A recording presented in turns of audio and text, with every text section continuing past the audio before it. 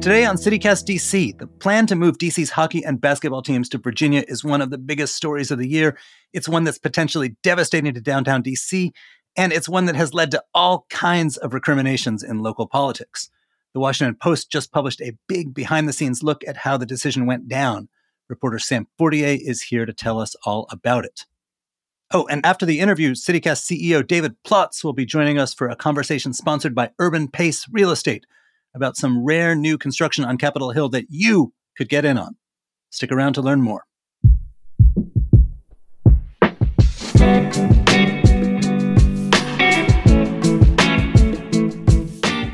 Today is Thursday, February 22nd. I'm Michael Schaffer, and here's what DC is talking about.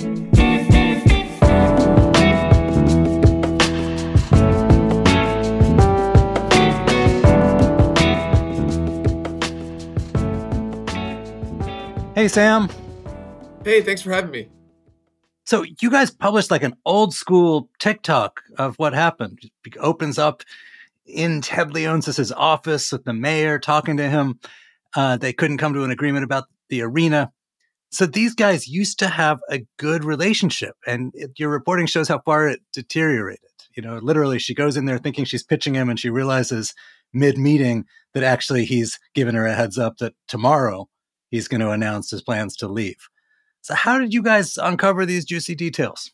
This was a really intense collaborative effort between like five of my colleagues Jonathan O'Connell, Teo Armus, Meagan Flynn, Laura Vozzella, and Gregory Schneider.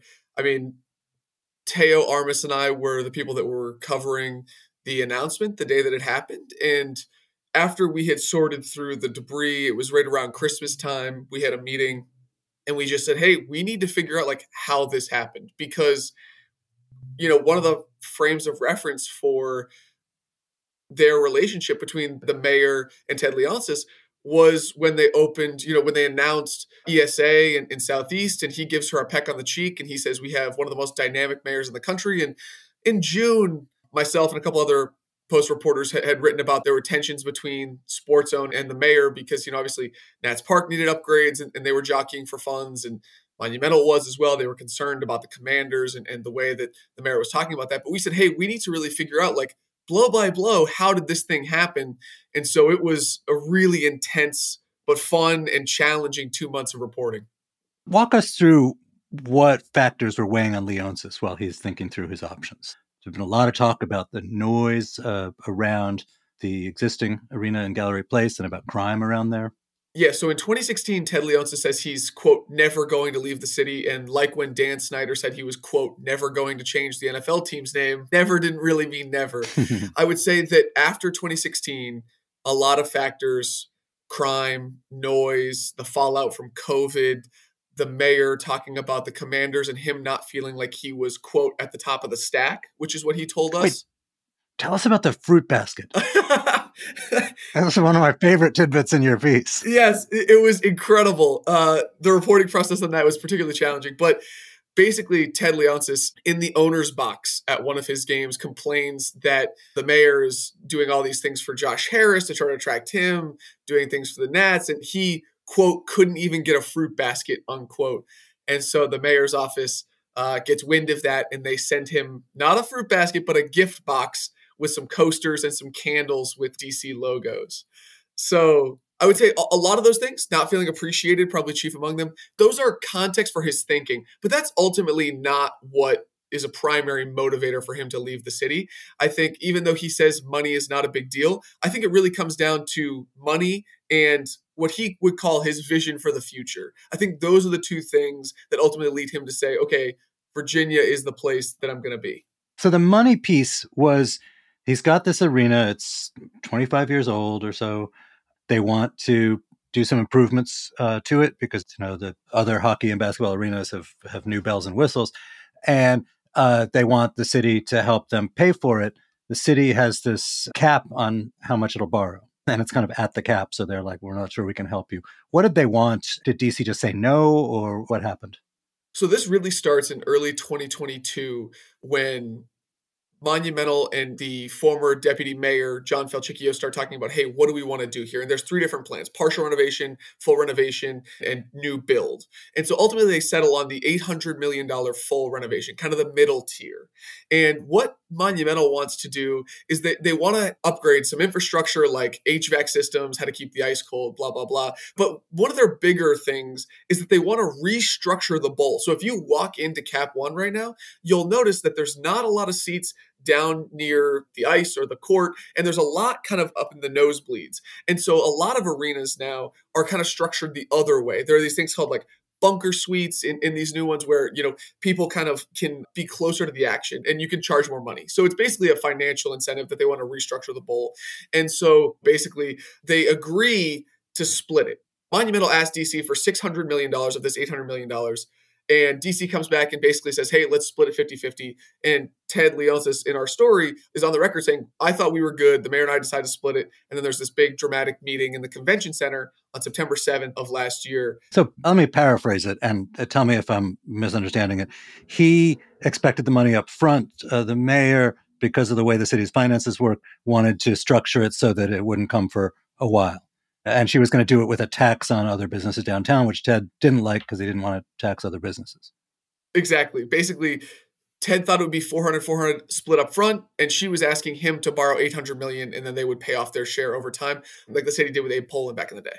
Right, and that strikes me as the sort of like interesting backstory here. Abe Pollin, the former owner of the Capitals and the then Bullets, he built the arena himself. And at the time, it was sort of heroic. Instead of being one of these billionaires who's like out like tin cupping to the taxpayers for money. He built the thing himself. But that problem is that once Leonsis acquired ownership, he is stuck with what he views as a rotten mortgage that he has to keep paying. Yes, he would tell you that he has the worst building deal in professional sports. And I think the contrast between Leonsis and Pollin is particularly sharp in this story for a lot of reasons, like you just said. And notably, uh, my colleague Rick Maese just wrote a story about Abe Pollin's son, basically asking, you know, he wrote a letter to Ted Leonsis saying, like, please reconsider this decision. Please follow through on my father's legacy. You told him before he sold it to you, before he died, that, you know, you would continue to be a good partner for the city. And so I think that the stories of Abe Pollin and Ted Leonsis are in sharp contrast at this point.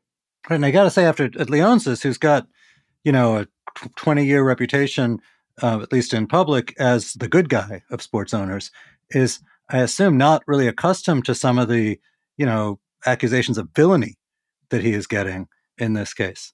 So, meantime, he's out there, he's dissatisfied with the money part. The noise and crime are, even though he says they're not a big deal, they are like your colleague Erik Wemple said, they, they must be wearying him. And he goes out to Virginia, where he knows the governor, Glenn Youngkin, from sort of local rich guy circles. And they uh, show him Potomac Yards, the sort of open space near the airport, take him up in a nearby building under the roof where he can see the airport and the monuments and the Capitol and even the existing arena and sketch out this sort of very up to date future where there's an arena, but also a whole kind of entertainment district around him that will throw off even more money for him. So I think this is an important distinction because the first time Ted Leonsis goes up on top of an office building to see the site is in April. And Governor Glenn Youngkin is not in play at this point. This is ah. strictly JBG Smith, the real estate developer, um, and some local Virginia officials because really this whole idea came about in March when a top Leonsis aide was at a, a, Greater Washington Partnership board meeting where the CEO of JBG Smith, Matt Kelly, is also there. And she says, Hey, we're exploring other options outside of the district. And he says, I have a site that I think would fit you guys. It's Potomac Yard. And so he goes up in April. Things kind of continue to escalate throughout the spring. And it's not until mid June that the governor gets on the phone with Ted Leonsis. And the governor told us that he was very skeptical of the deal initially, that he didn't see why Ted Leonsis would want to do this. They meet in person for the first time on July 21st. Uh, then they have another meeting in early September. And it really picks up throughout the fall as DC can't get a coordinated offer together and, and that convention center meeting, like we're talking about. But really, this was a JBG Smith led effort with local Virginia officials. And then Glenn Youngkin kind of comes in late to seal it.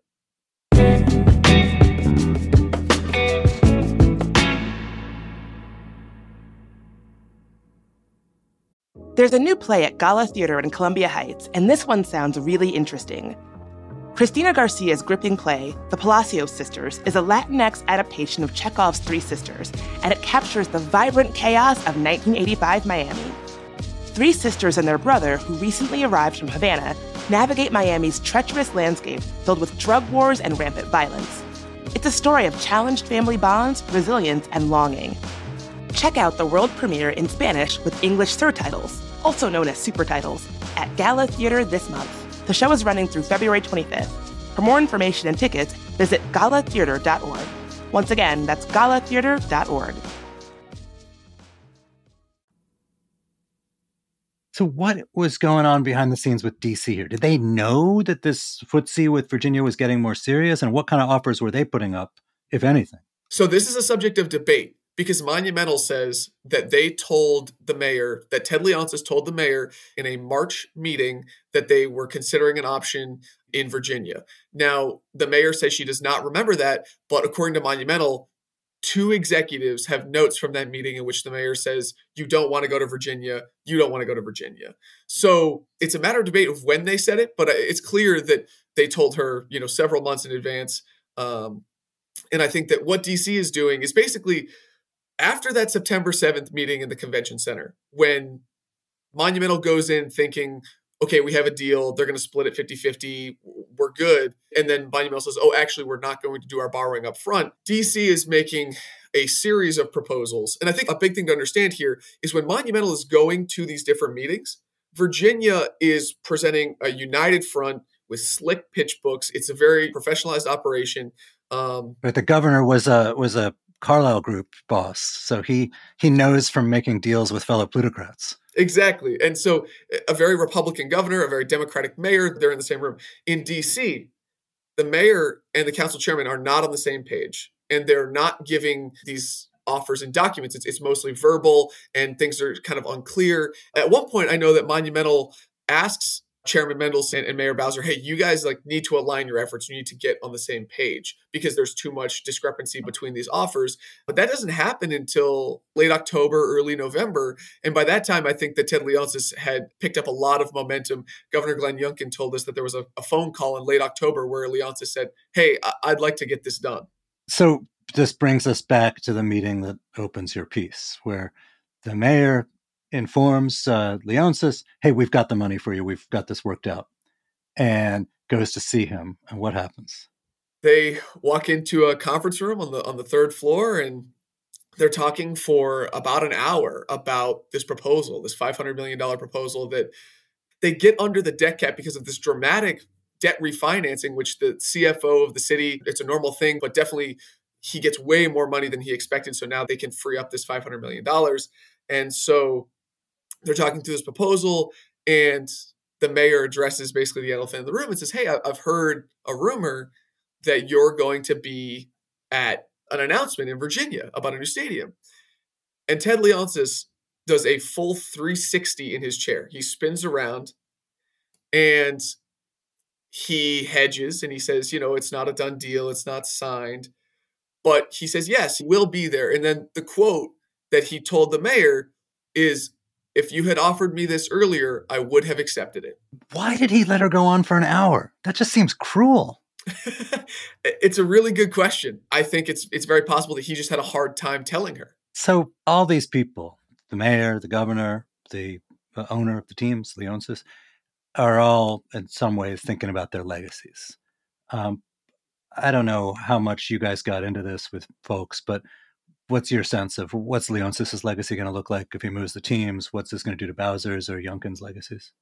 I think for Ted Leonsis, the legacy is depending on how this works out in Virginia. I think that right now you have to say that his legacy is basically being the anti-Abe Pollin, deciding to make a, a financial decision to go to Virginia and to say, you know, hey, I'm going to put what I view as, as the future of my company first and say these are the things that are important to me and that's what i'm going to do. And just to be clear your reporting shows this is a very good deal for his company. Yeah. Oh, absolutely. And that there's it's something that sort of no big city that's already built could really ever offer which is a, a blank slate and you can build not just the arena but all this other stuff. It would be hard for any city to match that. And Virginia, I mean, $1.5 billion, it's just, it's a lot of money and, and there's a lot of things that he can do with it. He really is only contributing $400 million to this project up front in the same way that he would have had to in DC, and he can locate all his teams. This makes a ton of financial sense for him. I think that the emotional part is the thing that he's struggling with. So, can he create a great fan experience? Can he co-locate everything? I think that's going to be his legacy. Is what can he do there? For the mayor, it's tough for me to say. I mean, I think that she understands that uh, another mayor lost a, a sports team, and that was, you know, a pretty defining part of her legacy, you know, just in one term. But Mayor Bowser's on three terms now, so I, I think it's very different. As for Glenn Youngkin, I think this is a, a, huge coup for him, particularly after the elections that they had in November. Um, I think this would be a big economic development win for him. And it reminds people. I mean, here's a guy who's kind of tried to straddle the line between being a Wall Street Republican and a Trumpy Republican, and it reminds people of the kind of deal making thing that he ran on. Absolutely. So, what is the future of this? There's now some trouble in in Virginia, in the, legislature down there. It's not quite clear to me, or probably to anyone else, how much of that is just play acting by people seeking to improve their particular part of the deal, and how much is not. But it's a weird situation where a lot of people in DC are rooting for like NIMBYs in Alexandria to stop the arena. Yeah, I, I, would say that the current state of play here, and I'm relying on my reporting from my Virginia colleagues, Laura and Gregory and, and Teo, who are doing great work on this, and I would encourage everyone to follow them. Right now, I, I think I've had several people who aren't really tapped into the local political scene say, Oh, I, I, thought the Virginia thing was dead because Louise Lucas, the politician down there, has said, Oh, it's dead it's not dead. She is playing political hardball. Uh, more recently, labor organizations in Northern Virginia have come out against it, which I do think is a serious threat to the deal, particularly for Democrats being able to support this. But it's changing a lot in real time, and I think it will continue to evolve like any of these stadium deals. So I would say that the future of this is, is unclear. What happens to Leonsis if he doesn't go through with it and he's got to come back to DC? Is he, I mean, Leonsis, since he's owned the teams, he's been this sort of sunny figure, much loved, was benefited by the contrast with Dan Snyder, who was the very unpopular owner of the NFL team. But like Tony Kornheiser referred to the move as villainous. I think it was him. Does he get his good guy reputation back if they get to come back to town? I don't know. That's a good question. The fans will decide that. But I think that what does this deal look like? If Virginia falls through, if it's not possible for him to go to Virginia, how does the mayor receive him when he comes back essentially with his tail between his legs, right? Because I, I would be surprised if the $500 million offer were still on the table? Does he evaluate going somewhere else? Does he say, okay, DC is is it? I'm going to figure out a way to work with this mayor? Because to me, initially, when he announced, hey, we're going to make this move, the mayor adopted a very friendly approach. Hey, you know, if he comes back, we still want him, we can still change his mind. And then a couple weeks ago, she wrote an op ed in our paper, kind of poking him in the eye and threatening litigation. And there's a whole debate about what the actual lease says. Basically, the mayor threatened litigation for what she called uh, a threat to for Leonsis to break his lease. He would say that the lease has an opt out before that. But basically, I would be very curious to know if Virginia falls through, what does the mayor offer him? Yes, we will find out, and hopefully you'll come back and tell us, Sam. I would love that. Thank you. Well, thanks for being here, man. Of course, I always appreciate coming on the show.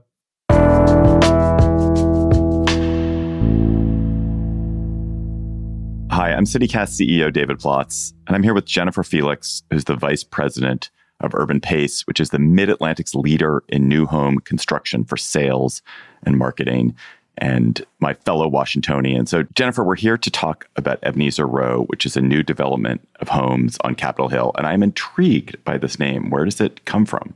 It's a wonderful story. It's actually uh, right next to the Ebenezer United Methodist Church, which was founded in 1838.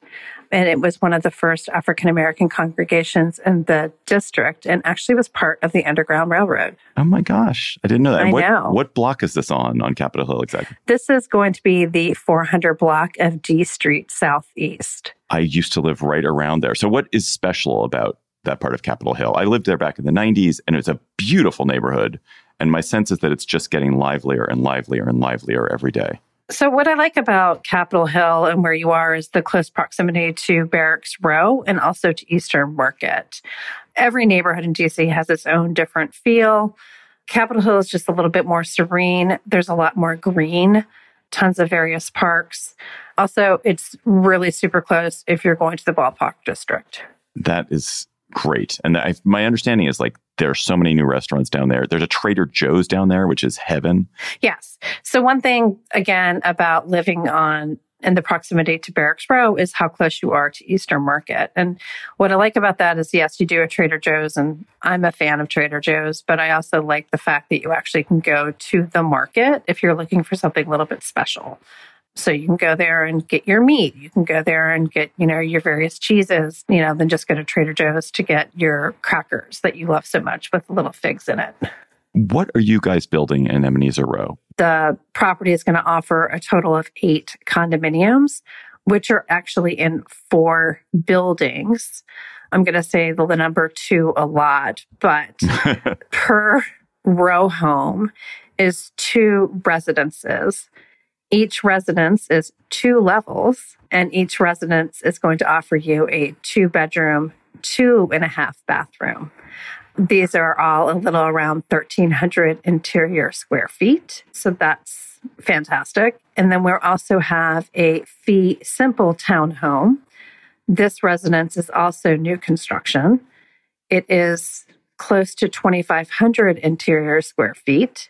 It is a five bedroom, five Whoa. and a half bathroom. I know. And it's going to offer you two parking spaces. And what is the pricing like on this? The fee simple townhome would be priced at 1.75 million. And then the condominiums will be priced from 875 up to just under 1 million. Jennifer, it's not just that these are new construction, it's also that these homes are packed with special features. Do you want to tell us about a couple of your favorites? Sure, absolutely. As far as the residences, one, I think it's important um, because they're two level condos, like they each have two levels, you feel like you have your own little small house. The main floor is going to offer you a powder room, which is very nice. Uh, we do have wide plank oak flooring. It's going to be a little bit more of a matte sheen to it. So that's a little bit more unique. Bathrooms are large. Of course, the primary suite is going to offer you two vanities, the walk in showers with the frameless glass. Um, we also are very generous on our closet size, which is hard to find Ooh. in Capitol Hill. And also, our ceiling height is nice and tall, including on the upper level. Um, so you're going to be dealing with nine foot ceilings throughout. Oh, and then also, most importantly, is the kitchen, which, as we know, is the heart of the home. We're doing induction cooking. Love which, it. Love it. Yeah, we're excited about it. So, induction cooking, for those that are not familiar, that are listening, it is one, environmentally friendly. Two, it's incredibly fast. And it's also more of an even cook than you're going to have from gas. Most chefs actually would prefer to cook on induction versus gas cooking. The only thing that you need to do as a consumer is buy some pans with enough metal in it, which is a lovely housewarming gift. In addition to that, um, our appliances are a little bit different. Tip what we've been seeing more and more in the market is Thermador, and we're actually doing JennAir, which is a level up. All of our cabinetry is custom by J Suss. Um, you're also going to have the quartz countertop, which of course is going to waterfall. All the kitchen islands are quite long, which is nice, built-in trash, etc. We're of course doing rings as far as for your smart homes. So they're done very well as far as just kind of how you're going to live in the property and how it lends itself. Jennifer Felix of Urban Pace, thanks for being here. Thank you so much for having me today. Again, check out ebenezerrow.com to learn more. That's E B E N E Z E R row.com. Gosh, that's satisfying to say. We'll have the link for you in our show notes as well to make it nice and easy for you to find.